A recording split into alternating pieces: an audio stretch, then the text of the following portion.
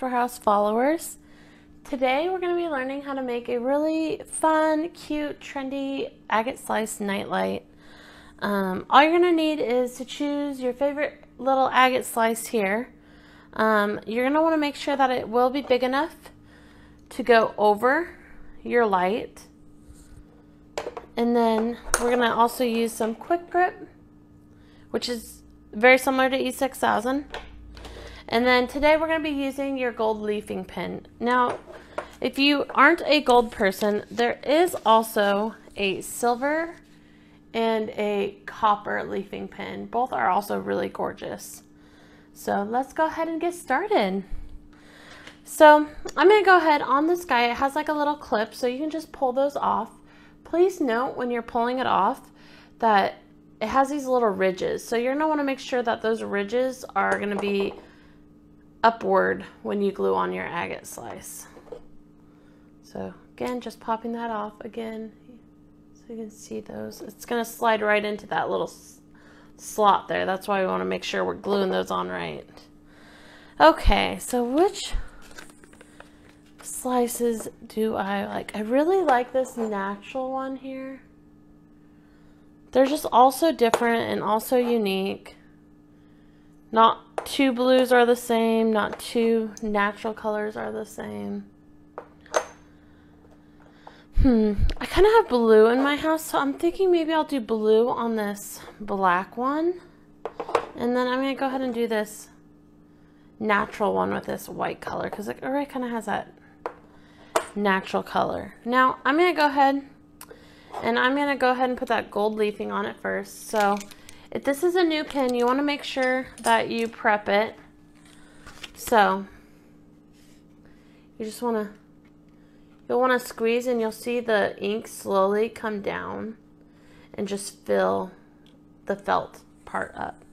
So once you have all the leafing showing, you want to grab your nightlight and I'm just going to go along the edges, or your agate slice, sorry. I'm going to go along the edges just basically kind of coloring it in. Um, you will want to be careful because this does take a second to really dry. So you won't want to touch it. You want to make sure your fingers are nice and spread apart. Okay, just coloring it all in. I think I'm going to do the other one natural because I really like the way that white looks. You can leave it natural or again, put a little flare on it. These gold leafing pens are great for other things as well, so either way you cannot go wrong.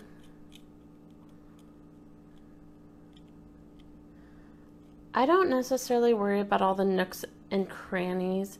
I do try to get majority of it colored, but there's going to be holes just like a normal natural agate light that if somebody was to put, um, you know, gold around here and it was a pendant, there still would be some darker holes that wouldn't quite be able to get it covered. So get to how you like. And I really like how this looks. Hold on, let me put the cap on this pen.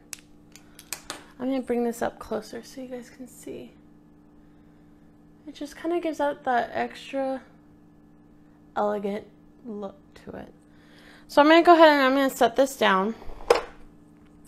And then we're going to bring the glue in. So when I go to glue this on here, I want to make sure there's going to be room for this clip. That's your on and off switch. So I am going to glue it rather far down on this agate slice. So I'm just going to put it right on this clip here. And I just pushed it down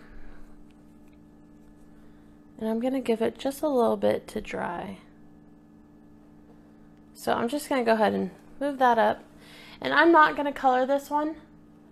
So I'm just going to go ahead and glue it straight on. So again, I just want to make sure it's low enough. And then put that quick grip right on that plastic clip.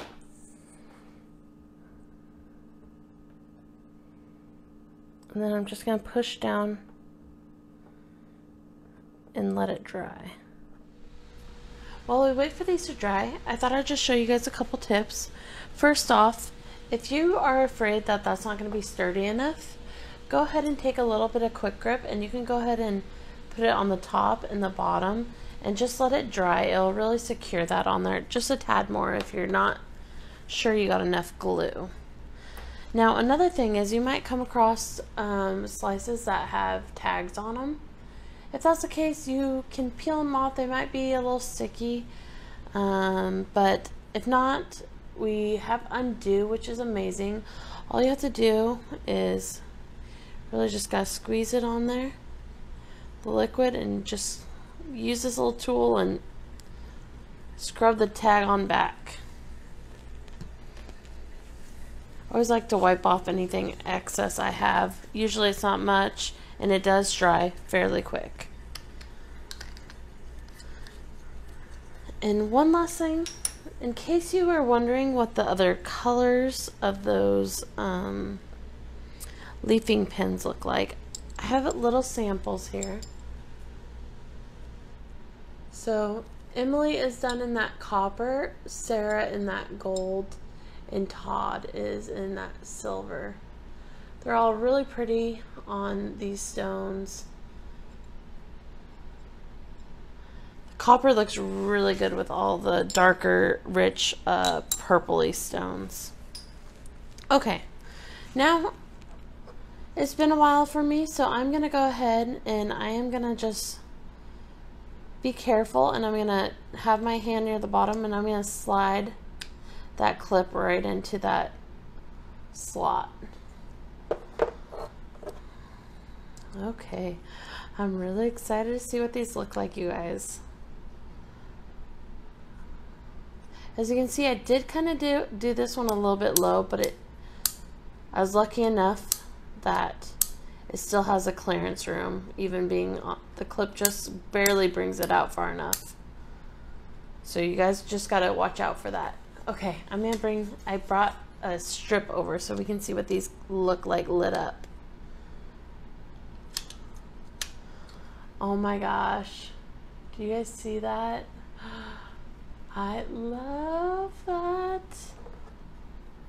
Okay, now here's the blue one.